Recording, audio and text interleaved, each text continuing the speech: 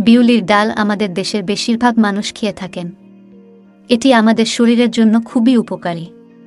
সাধারণত এই ডাল ভারতের মানুষ ভাত, রুটি, ইডলি, পরিস এবং বড়ার সঙ্গে খেয়ে থাকেন। কিন্তু অনেকেই জানেন না এই বিউলির ডাল খাওয়ার অনেক স্বাস্থ্য উপকারিতা রয়েছে। বিশেষজ্ঞদের মতে, শরীর, বিশেষত কিডনি মজবুত করতে বিউলির ডাল খুবই উপকারী। জেনে নেওয়া যাক আর কি কি উপকারিতা রয়েছে এই ডালের শুক্রাণু উৎপাদন বাড়াতে সহায়ক। এই ডাল খেলে পুরুষের শুক্রাণুর উৎপাদন বাড়তে পারে। অনেক মানুষ বিশ্বাস করেন যে পুরুষদের শুক্রাণুর সংখ্যা এবং গতিশীলতা বাড়াতে বিউলির ডাল খুবই উপকারী। এমনকি পুরুষত্বহীনতা এবং অকাল বীর্যপাত রোধেও সহায়ক হতে পারে এই ডাল। অতএব জীবনে নতুন রোমান্স আনতে প্রায় প্রতিদিনই বিউলির ডাল খাওয়া উচিত। এটি খেলে কয়েকদিনের মধ্যে যৌন সমস্যা থেকে মুক্তি পাওয়া যেতে পারে। রক্তশূন্যতা দূর হয়, বিউলির ডালে প্রচুর পরিমাণে আয়রন থাকে। তাই এই ডাল আমাদের শরীরকে সুস্থ রাখে।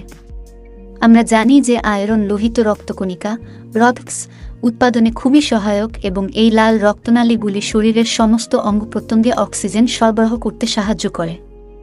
উল্লেখযোগ্যভাবে, অক্সিজেনের সরবরাহ শরীরকে সুস্থ রাখে এবং রক্তশূন্যতার মতো রোগকে দূরে রাখে বিউলির ডাল।